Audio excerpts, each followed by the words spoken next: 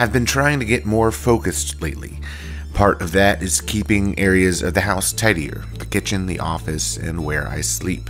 I thought a minimalist everyday carry board would help me unclutter my side of the bed and my mind. This is a story about that. I started with a white ash drop I had on my scrap rack and milled it down to a 10.5 by 6 inch board about an inch thick and headed to the Inventables X Carve. The idea is to have a pocket on the underside to house a wireless charger and two small cutouts on the top for a place to put some succulents. I designed two cutting paths in easel and got the machine set up, probed the material, and started the carves. While that was cutting, I went back to the other side of my shop and started cleaning.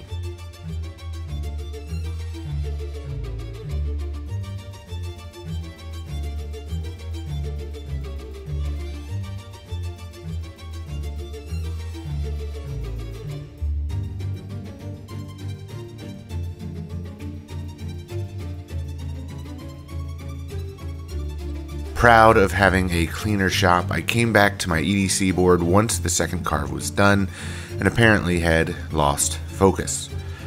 I flipped the board over to realize I had gotten turned around and carved both sides on the same end of the board. So I grabbed another drop from the rack and started over from the beginning. This time I paid extra attention to the board's orientation on the CNC and success. Getting back to my Zen, I broke all of the edges with a small chamfer and sanded up to 320 grit with the Deros and Abranet.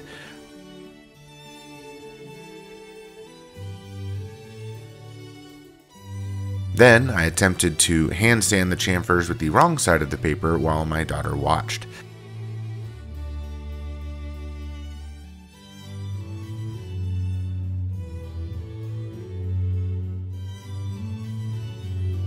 The finish I used was walrus oil, which is a natural oil blend and super easy to apply.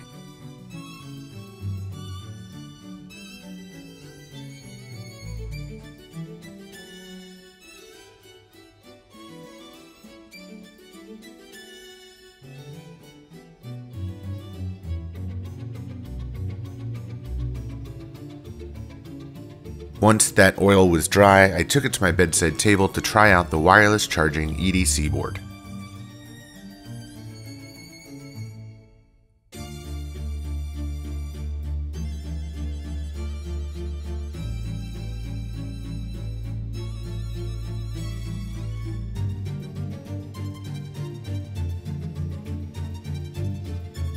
I think it's simple and elegant, but let me know what you think in the comments, and think about subscribing if you enjoyed this project. And, as always, thanks for watching.